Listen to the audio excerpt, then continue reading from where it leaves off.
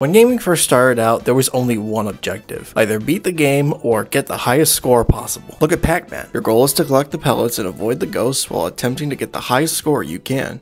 That's it. There's no side quest that explains why Pac-Man is stuck in the maze, or how he cheated on his wife with Clyde. There's the game, some basic cutscenes, and that's it. But despite the simplicity, Pac-Man and other arcade games are still fun to this day. But as gaming transitioned from the arcade to the home, games need more things to do to keep the player playing. If you're only doing one objective, you probably won't play for 30 hours. And something to help with that are side quests. A side quest often starts with some random NPC asking you to do something. Fetch a certain item, kill a certain enemy, something like that. You go do it, come back, and get your reward. Sound like fun? No, it doesn't. Quit lying. More often than not, you're just doing someone's chores. I'm willing to bet you don't even remember most of the side quests you've done. This is the problem. Sure, you may get a fair reward sometimes, but the reward is temporary. It gets used up, or you might find something else to use instead. In my opinion, it's more about the journey than the destination. You remember what you did to complete the mission more than the reward in most cases or at least you would if most side quests weren't super boring. Gaming has come to the point where basically every aspect has been innovated and improved upon. Gameplay, graphics, story, controls have all improved significantly over time. Side quests, however, seem to have been left behind. To show you what I mean, let's look at a random side quest from games that were made about 16 years apart from each other. You might be familiar with the pizza missions from Spider-Man 2. If you're not, you basically deliver pizza.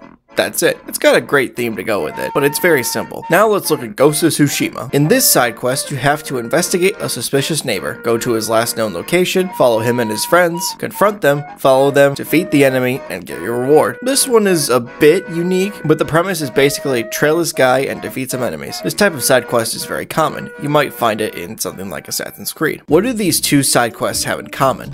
They're simple. The simplicity is not the problem here. If a side quest is too complex, it might deter the player from ever doing it. The problem is that if a side quest is too simple, it's forgettable. The only thing you remember from these is the pizza theme. You probably don't remember where you delivered the pizzas to, or what people said after they received their pizza. Also, you probably already forgot what the side quest from Ghost of Tsushima was. I just said it, and you forgot it. That proves my point. Side quests are often an afterthought and are just kind of put together with some Elmer's glue and scotch tape. They both work, but not in the long run. There is one series of games that contrasts this, however, and has some of the most memorable side quests in gaming, that being the Yakuza series.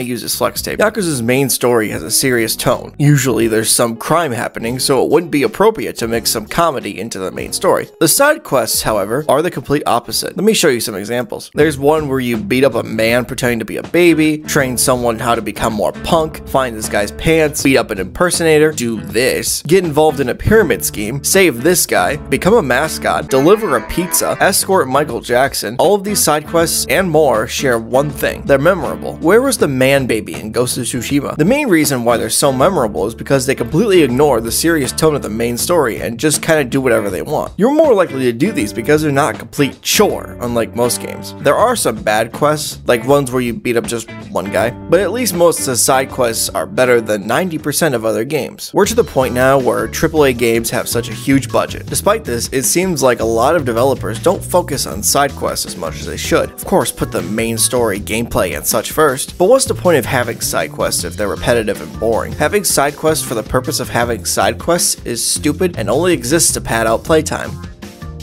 So what I'm trying to say is that every game should be Yakuza.